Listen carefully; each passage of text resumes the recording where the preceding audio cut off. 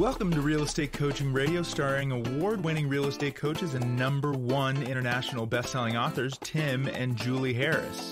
This is the number one daily radio show for realtors looking for a no BS, authentic, real time coaching experience. What's really working in today's market, how to generate more leads, make more money, and have more time for what you love in your life. And now, your hosts, Tim and Julie Harris. So, Julie, I was just telling you about the uh, information about the new average mortgage balance in the United States is now four hundred and fifty-three thousand dollars. Yeah, that is really astounding. It's unbelievable. And you and I were uh, guessing, predicting really, that based on last year's sale price, by the end of this year, the average sale price would be close to 500 grand, 475,000. Mm-hmm. Yep. And here we are. That's sale price, right? You and I weren't Yep. saying mortgage balance. We're saying Sale sale, price. price. by the end of mm-hmm. 2022 would be 475. Well, we were so wrong, mm-hmm. okay?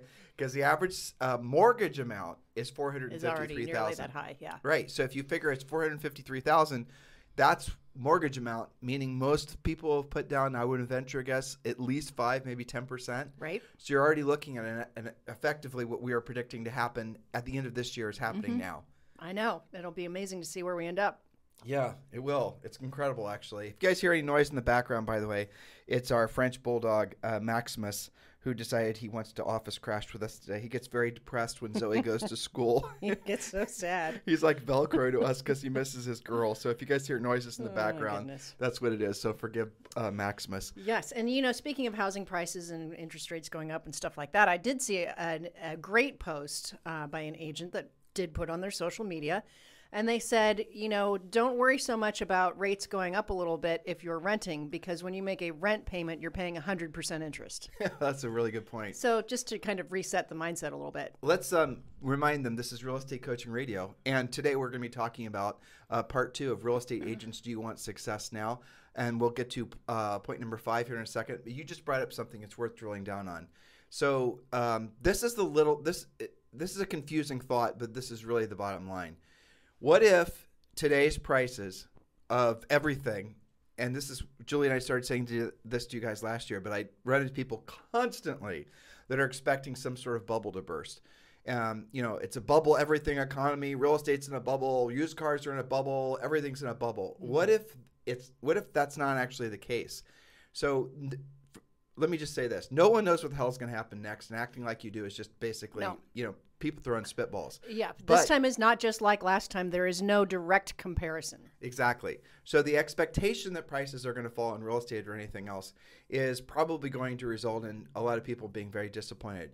But what's really bizarre to think about, and Julie and I actually have been studying inflation uh, even more so, and we get really, um, we totally nerd out on this. Like Julie and I were discovering there was massive inflation that was uh, in the Roman Empire towards the end of the Roman Empire, actually.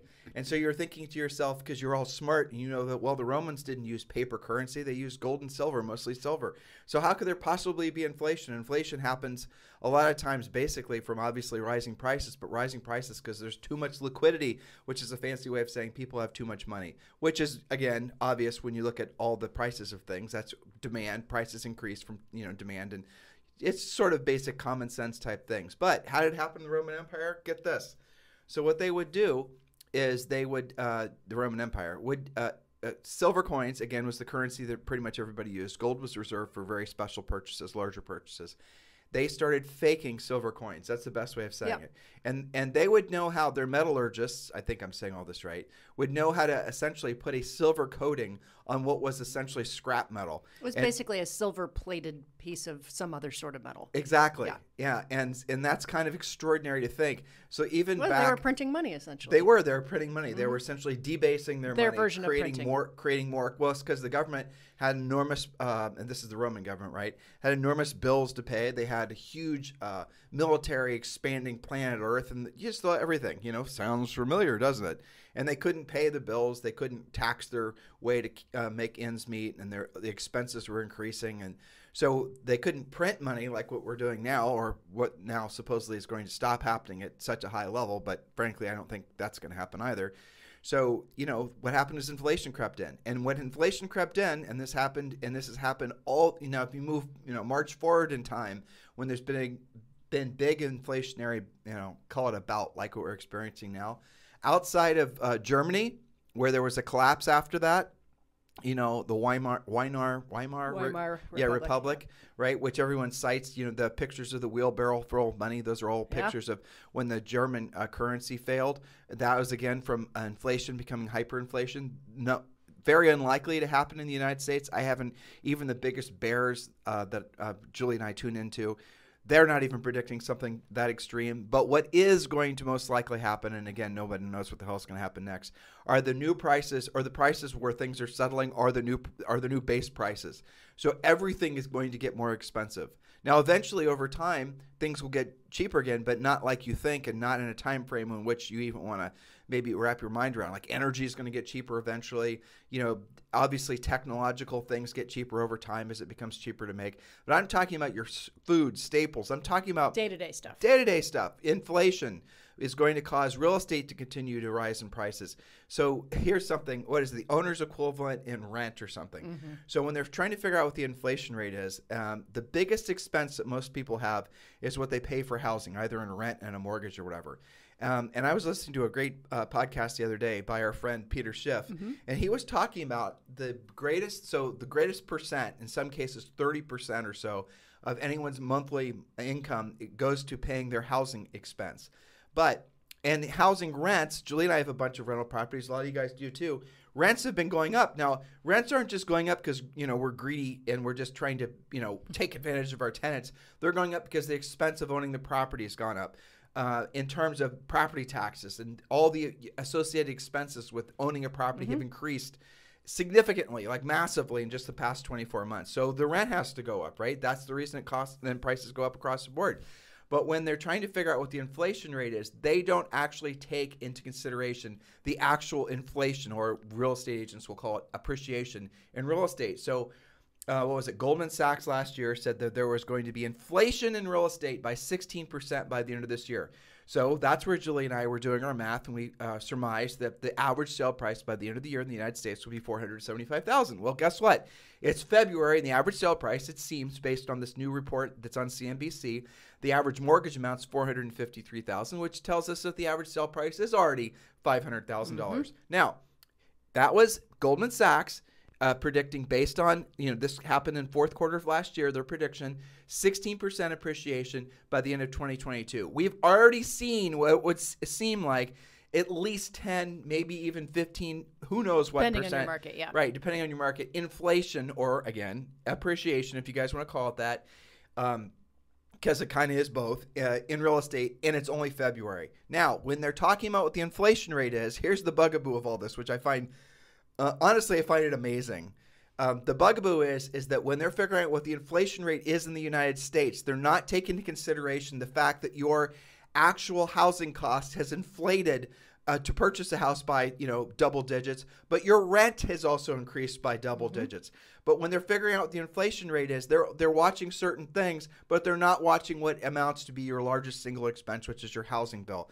They have something called owner's equivalent of rent, and Peter talked about this on his show, and I still cannot even fathom that this is real. You know, it's okay, so stupid. This is so stupid. So what they do, what they do, right? What the government does to figure out what the owner's equivalent of rent is, and then they that figures into the inflation rate, is they call and survey homeowners and ask. I'm not making this up. Google it yourself and ask homeowners what they would pay per month or what they would pay for their house. Right. So it's like if you got a call, hey Bob, this is you know i'm figuring out the inf- inflation rate you know dot com and we're trying to um, you know help you uh, we're asking you to contribute and we're doing something called owner's equivalent of rent. What would you pay per month if you were renting your house? Right? That's the question. And whatever that person says that's how they go about ascertaining what the inflation rate is in real estate. Based on absolutely nothing, total guesstimate.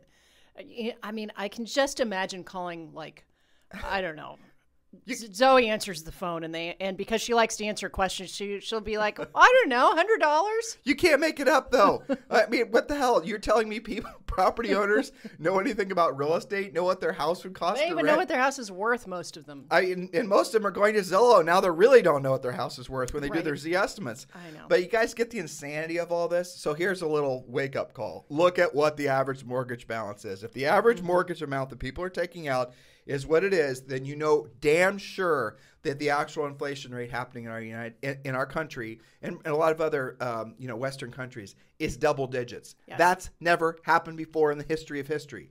Now you're going to see there's been a whole bunch of uh, manufacturing people that make everything. They've been holding back on rising, um, raising, Raising their prices. prices. There has not been like y- there's not been a first domino to fall where you saw like all of a sudden um, it, you won't see, for example, car price car prices thus far have not been dramatically increased, but they will because what's going to happen is they won't have a choice but to dramatically increase their prices. Most manufacturers of everything have practiced something called just in time. Well, and this is a, a, uh manufacturing concept that comes all the way. It was developed in Japan actually, and it was uh, made popular in the 80s. You guys don't care. Sorry, I'll reel myself in. Julie's giving me a look. But the reality of it is, is that what it means is that you don't warehouse uh, the materials that you're going to be using to make stuff. You buy it, you know, just in time when the order comes in. Then you order it, and then basically it's there. So if you've got a bunch of pending orders and they were based on, uh, you know, last year's prices, and now those uh, raw materials are coming um, into your facility, you're going to have to increase prices most likely on the orders that are already pending if you can, and you probably can't because you're in contract. That means that the next they're going to have double digit price increases across the board.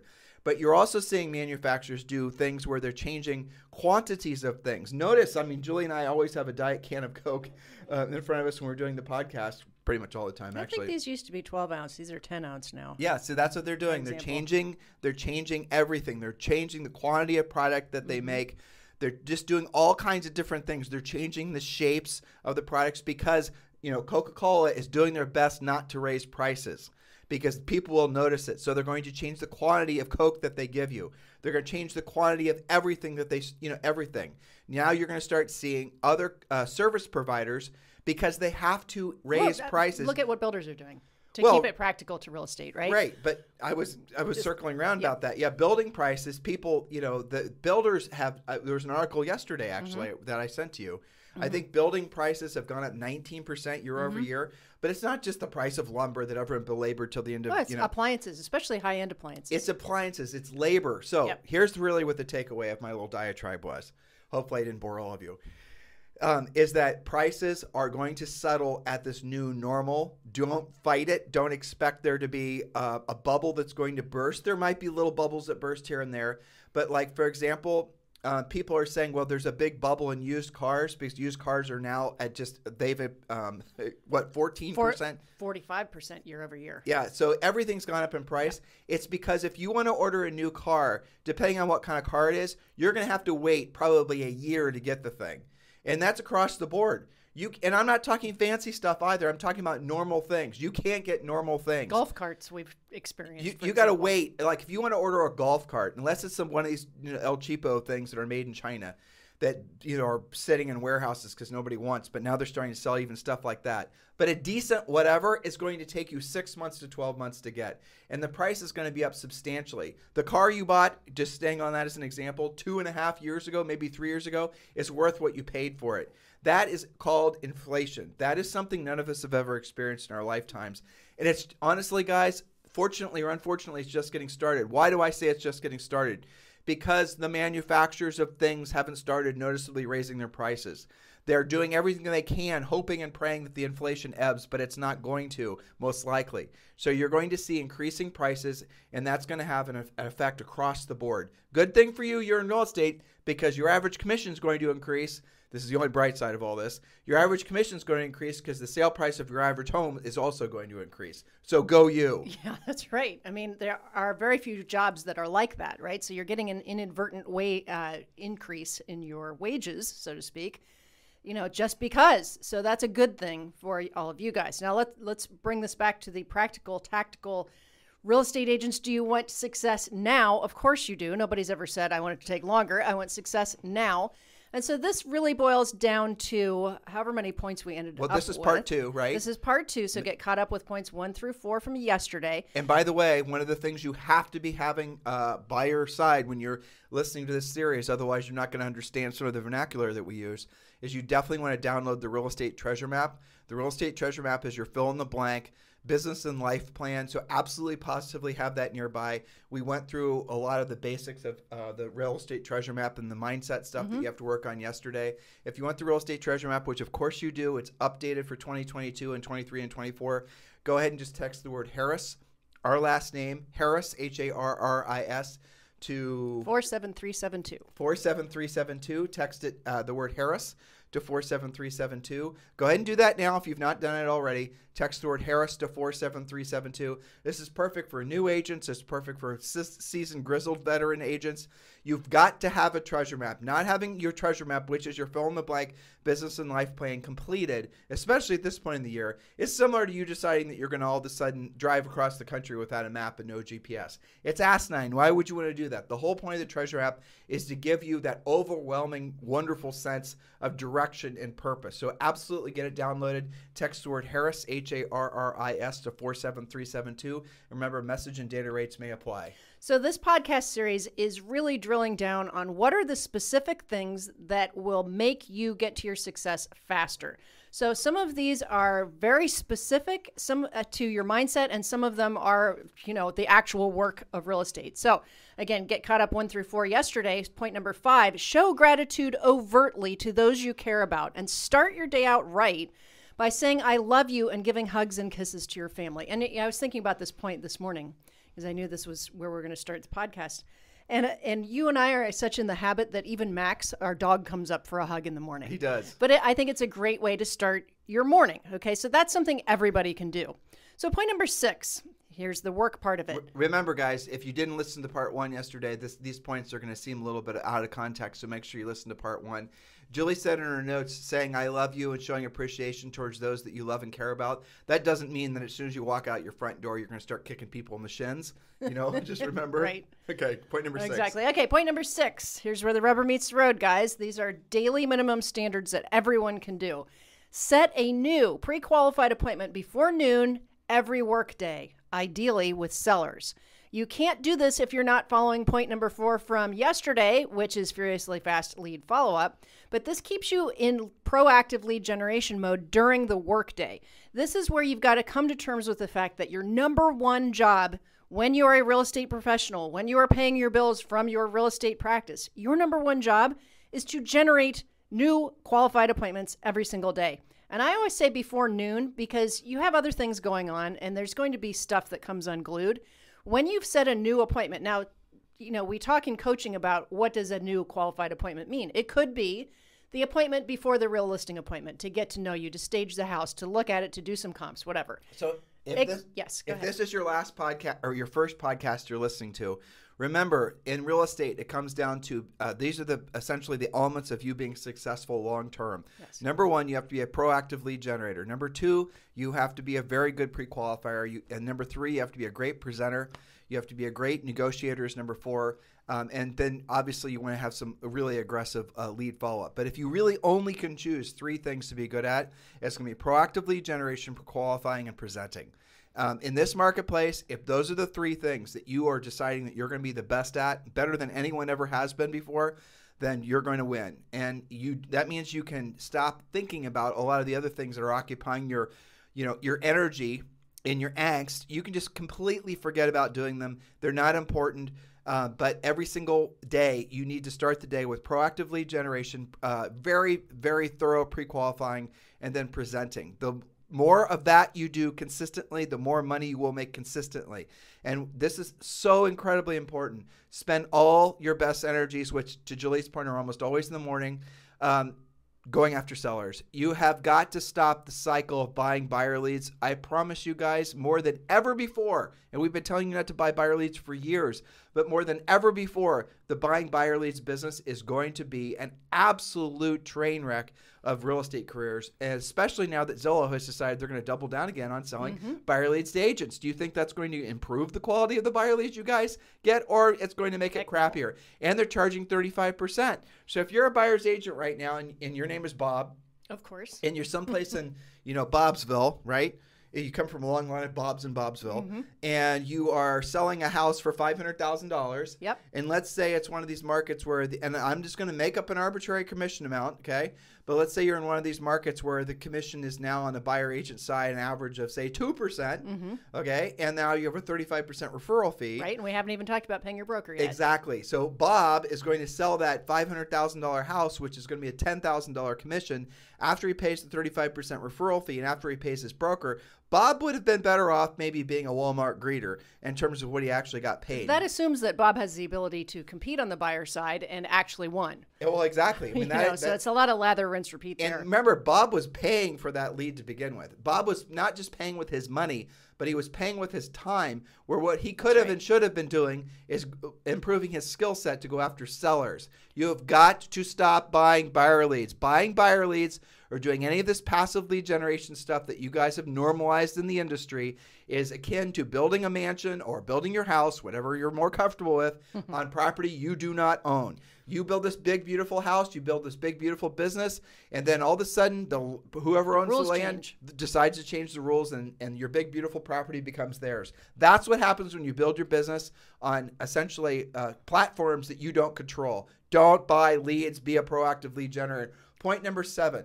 Point number seven, you might ask yourself, how am I going to be setting those appointments before noon every workday? Well, here we are. Visit slash door knock one unrepresented seller every day with your pre listing package. Otherwise known as for sale by owners, we like to call them unrepresented sellers because that's what they really are. They have their help wanted sign in their yard with their phone number. Another thing you guys like to complain about can't find phone numbers. You sell homes for a living. It makes sense that you're speaking with the obvious listing leads. They literally have their hand in the air with their phone number. Now, agents will say, well, it's a hot seller's market, Tim. They're going to sell on their own. Maybe some of them do. But after two weeks, almost every for sale by owner has lost their will to do it on their own. Yes, and that statistically is true. Most FSBOs end up listing. So, how did Julie and I sell over 100 houses our first year in business in our early 20s when we looked like we were 14? Here's the answer we did exactly what Julie just said. We went after for sale by owners. For sale by owners were most of what we did. We would, and there were tons of for sale by owners, and it was a real, actually very strong market because it was mostly this first time home buyer uh, market. Most, if not all, the for sale by owners were going to move up to another house that they wanted to purchase. Oh, you mean they were a buyer lead that you didn't have to pay for? You guys get the point? And these FSBOs, we didn't know what the hell we were saying. We didn't have a coach. There was no internet. There was no training. But we knew statistically, well, here's all we had to know. That's a house for sale. There's the phone number. There's a door. You know, I'm sure that I can sell that house. If I don't have a buy already, I can find one. That person wants to do at least one or two transactions. I'm going to make that happen. And yet, agents nowadays drive past for sale by owners. Or they'll argue with you that there aren't any. Exactly. Now, I'll tell you this we teach you in the coaching program what 20 different ways to Yep. generate listing leads. I would say 18 of them don't cost you anything. Correct. It does take you, uh, you do have to have a skill set and you have to have the mindset to apply that skill set. Uh, otherwise, you're going to be, you know, beholden to buying buyer leads the rest of your life. You're never going to have a real business. So, this knocking on a door, this making a phone call to a for sale by owner, should be real estate 101, but nobody's telling you guys to do it. But Julie and I, this is a very basic tenet. It doesn't it make sense? How much money would you, if I walked in front of you right now? Well, hell, I know there's somebody probably emailing you right now, right? Hey, Bob, I have got a listing lead in your neighborhood, and the seller is asking $549,000. They're willing to work for an agent, uh, willing to work with an agent. How much will you pay me for that lead? Who listening to us right now, the tens of thousands of you, wouldn't pay 25%? All of you oh, would. Oh, at least. okay, at all of them would. yes. Who wouldn't pay 35%? Oh, and by the way, that person's also going to buy. 35%. Most of your hands are still in the air. 40%. Okay, I just upped it a lot. Yep. Most of your hands, 50%. Who would pay me 50% for that lead? Now maybe half the hands drop, but there's still half the room has their hands up. I could even increase that, couldn't I? I could start going 60%, and there's still going to be people to. T- I can go all the way to an 80% referral fee for that listing, and I promise you there'll still be somebody that'll happily take it and get it sold. Yep. Now, that is the definition of insanity because that lead is free and it's in your neighborhood. Why the hell aren't you calling them? Because you don't know what to say and you don't know how to say it. That's the reason you need to join our coaching program. Text the word Premier to 47372 and we'll text you back a link to join the Premier Coaching Program. It is the quickest, simplest way for you to move forward in your real estate business. Text the word Premier to 47372. We'll text you back a link to join our coaching program and that is the way for you to skip the line. You can uh, that'll just take you right to the page. You can join Premier Coaching for around hundred dollars a month. Remember, message and data rates may apply. Text the word Premier to four seven three seven two. Speaking of no-brainer ways to generate money now. Related to our previous point of people who have their hand raised, point number eight: visit slash door knock one expired seller listing per day with your pre listing package. Not only have they self identified that they wish to sell, they also have shown their willingness to list, which makes them slightly more interesting than a for sale by owner, perhaps. Again, speak with people who obviously could use your help. Well, define Ex- what you just said. Okay. They have a, a, nice thing about an expired is you know what the price isn't. So I mean, market tested price. Frankly, in this marketplace, it's probably you're not going to be a price issue. It'll probably be a condition, or maybe the seller wasn't motivated, didn't allow showings. Who knows what? Uh, and but True. you also know that they're willing to pay a commission because it was listed before. That mm-hmm. was Julie's point there with regards to the commission right. thing. exactly. Now, some of you will claim that you don't have any expireds. How could something expire in today's market? While there is still aspirational pricing, sometimes it's still price. It can also be very limited, showing opportunity. Some agents have gotten so lazy that they have terrible, terrible pictures, those stupid little iPhone pictures. Mm-hmm. Terrible or description, videos, videos. It doesn't work. The link doesn't work. Nobody is, it's not able to be shown easily. There's lots of different reasons. But yes, of course, things expire in every market. But yes, there may be fewer in the one zip code that you're searching. So expand the geographic area that you're looking in for expired leads and go back further in time. Well, so going back further in time was uh, the point of the day here. If you go back to the listings that came off the market starting in end of October of last year through now, you're going to see, especially if you're in a snowy climate like where Julie and I are from, yep. a ton of people who took you know withdrew or let their uh, their listings expired who all have plans to relist their house in the spring. That's right. We teach you what to say and how to say it. All of those guys would be welcoming an alternative to the agent who did not get it sold last time. Because remember, Mr. Seller, um, I appreciate the fact that you were considering keeping the house with your old agent. But what do you think that agent's going to be doing differently this time that they hadn't already tried the first time they had the property for sale? Mr. Seller, you'll probably agree at this point it just makes sense that I pop by at your convenience, say today at 5 o'clock, and I can show you exactly what I can do to get the home sold. And guess what? You can use that information that I'm going to share, uh, share with you and keep it with the old agent, or maybe you decide to move forward with me. So it's 5 o'clock or 5.30 better for you. And they will always say yes. They Virtually will. always say yes. Because you're offering to give them free information that they can then use for the, you know, passing back to the previous agent. But the reality of it is, is if you call them, most of them will list with you because the old agent hasn't get, even called them back. Hasn't called them back. Take the listing for granted they kind of already, you know, that previous, well, I always called them old, but that old agent is going to have already shown their best hand the first time they had it actively for sale. So that seller's kind of been up mountain, the mountain and down the mountain again with that other agent. You can slide right in there and get the property sold. And That's guess it. what? Mr. Seller, I got some great news for you. And this also pertains to FSBOs too, you know, unrepresented owners. Mr. Seller, and this is I'm going to give you guys a little FSBO script, okay? So, Mr. Mr. Seller, listen. This is not at the top of the script. This is about maybe a quarter into it. Mr. Seller, listen. I really appreciate the fact. I really appreciate the fact that uh, you know you've got this house priced right. You have it conditioned right. Everything about this property is perfect. And truthfully, Mr. Seller, in this market, I'm positive you can get this property sold yourself. But let me ask you a question.